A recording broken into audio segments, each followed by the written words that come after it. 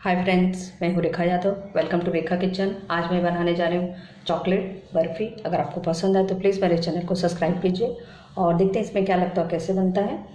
ये मैंने लिया है चांदी का वर्क सिल्वर वर्क और ये मैंने शक्कर लिया है 125 ग्राम। उसे मैंने दरदरा पीस लिया है और ये मैंने काजू लिया है पच्चीस ग्राम। उसे मैंने दरदरा कूट लिया है और ये मैंने लिया है चॉकलेट पाउडर पचास ग्राम। और ये मैंने लिया है खोआ, आधा किलो। और घर पे आप बना सकते हैं। और मैंने मिल्क पाउडर से खोआ बनाना बताया तो मैं आपको इसका लिंक दे दूँगी तो आप देख लीजिए। और ये मैंने लिया है इलायची पाउडर, आधा टेबल स्पून और हम देखते हैं कैसे बनता है। और ऐसा कोई आप थाली या कंटेनर लीजिए, जो डिब्बा हो, केक बनाने का, वो ले लीजिए। और इसमें मैं थोड़ा सा घी से, ग्रीस कर दूँगी इसे। और इसको एक साइड में हम रख देंगे। हर साइड में अच्छे से लगा दीजिए कि जो हमारी बर्फ़ी है अच्छे से निकल जाए। और क्योंकि अभी रक्षाबंधन आने वाला है और बाहर की मिठाई में बहुत मिलावट होती है तो घर पे बनाइए आप। और पसंद आए तो प्लीज़ कमेंट करें।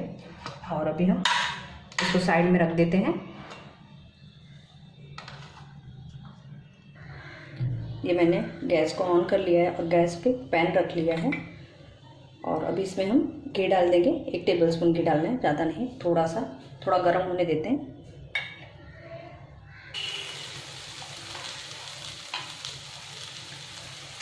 और इसको हम इसमें डाल लेंगे खोए को।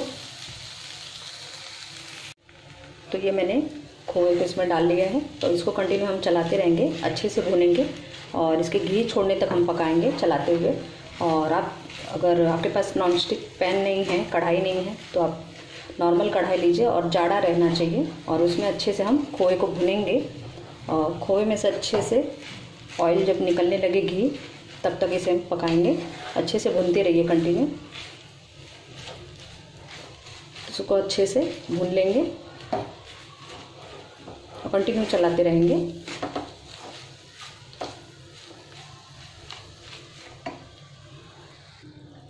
और ये अच्छे से घी छोड़ने लग गया है। थोड़ा और इसे हम पकाएँगे और जलने नहीं पाए, अच्छे से चलाते रहिए और इसके अच्छे से घी छूटने तक हमें पकाना है। तो थोड़ा सा इसे और पकाएँगे। तो ये हमारा मावा घी छोड़ने लग गया है और अच्छे से पक गया है। एकदम घी छोड़ने लग गया है। देखिए, साइड से दिख रहा होगा हल्का हल्का और अभी इसमें हम शक्कर को डाल देंगे। ये शक्कर का है, दरदरा पीसे आप शक्कर और इसमें हम मिलाएँगे, अच्छे से मिक्स करेंगे और अच्छे से मेल्ट होने देंगे। और अच्छे से चलाते रहेंगे। इसमें मिक्स कर लेंगे। इससे बहुत जल्दी क्या शक्कर गल जाता है और अच्छे से पक जाता है और ज़्यादा कड़क नहीं होता है। तो इसे मैं अच्छे से मिला लूँगी। ये मैंने अच्छे से शक्कर को मिला लिया है इसमें। और इसको हम ऐसे कंटिन्यू चलाते रहेंगे नीचे तक। और अच्छे से चलाएँगे, इससे अच्छे से मेल्ट होने देंगे। और हमें इसे तब तक पकाना है कि हमारे अच्छे से बर्फ़ी जम जाए। उतना पकाना है हमें। तो इसको पकाएँगे इसे चलाते हुए कंटिन्यू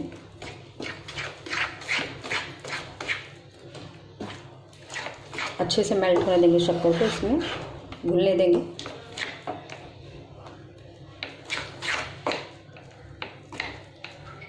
और ऐसे कंटिन्यू चलाते रहेंगे। अच्छे से ऐसे मिक्स करते जाएँगे कि कहीं से जले ना ये।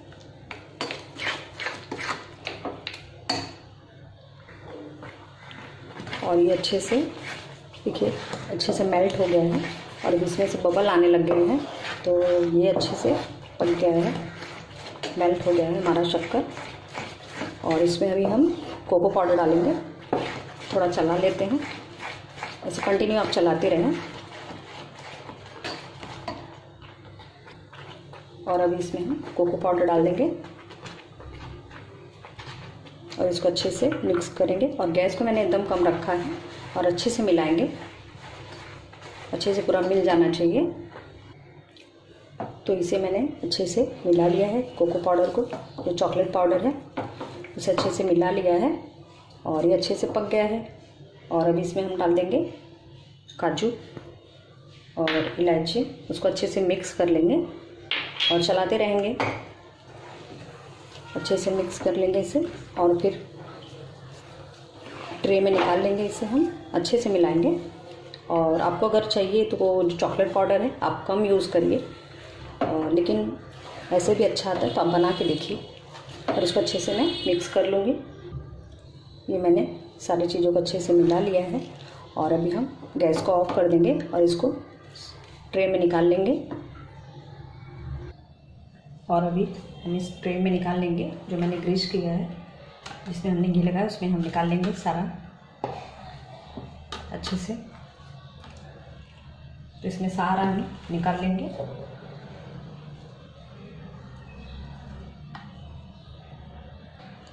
ये मैंने अच्छे से निकाल लिया है और थोड़ा सा जो काजू काजू था, उसमें ऊपर से ऐसे डाल देंगे।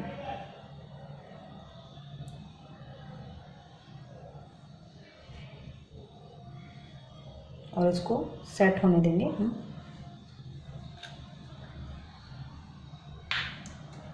जब अच्छे से सेट हो जाए, थोड़ा सा ऐसे दबा दीजिए।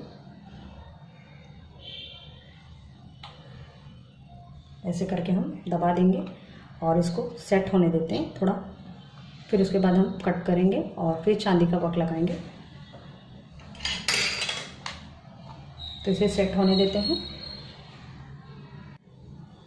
तो ये हमारी चॉकलेट बर्फ़ी अच्छे से सेट हो गई है और अभी इसमें हम चांदी का वक लगाएँगे। अगर आपके पास नहीं है तो चलेगा। तो मेरे पास है तो मैं लगा रही हूँ।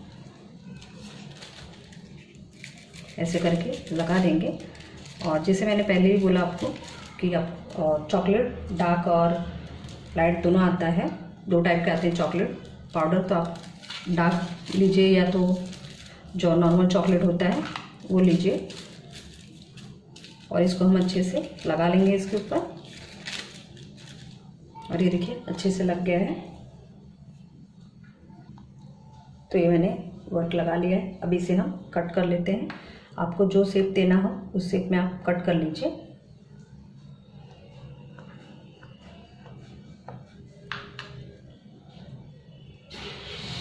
और ऐसे करके हम कट कर लेते हैं।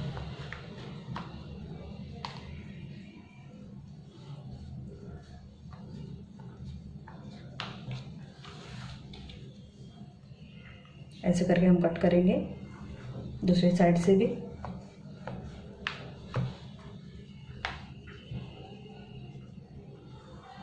जितना बड़ा छोटा आपको जो डिज़ाइन का आपको बर्फ़ी कट करना हो, आप कट कर सकते हैं। और मैं ऐसे कट कर रही हूँ। और इसके साइड से हम किनारे को थोड़ा सा ढीला कर देंगे कि निकल जाए। ये मैंने किनारे से ढीला कर लिया है और अभी इसे हम निकाल लेंगे। ऐसे करके सारी बर्फ़ी को हम निकाल लेते हैं और एक प्लेट में सर्व करते हैं। और देखिए, ऐसे करके। तो निकाल लेते हैं और सर्व करते हैं प्लेट में।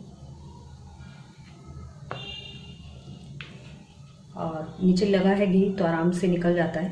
तो इसे निकाल लेते हैं और सर्व करते हैं। ये देखिए। तो सर्व करते हैं प्लेट में। ये मैंने सर्विंग प्लेट में निकाल लिया है। तो ये हमारा चॉकलेट बर्फ़ी बन के तैयार है। आप बना के देखिए, अगर आपको पसंद आए तो प्लीज़ मुझे कमेंट करें। और प्लीज़ मेरे चैनल को सब्सक्राइब कीजिए लाइक करें कमेंट करें और शेयर करें। और प्लीज़ मेरा वीडियो देखते रहिए और अपना प्यार देते रहिए। और बेल का बटन आप ज़रूर दबाइए सबसे पहले वीडियो देखने के लिए।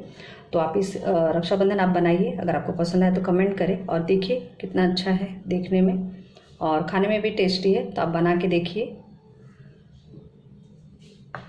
और जैसे मैंने कहा कि जो को चॉकलेट पाउडर है डार्क आता है और लाइट आता है तो आप देख के लीजिए और कम ज़्यादा कर सकते हैं।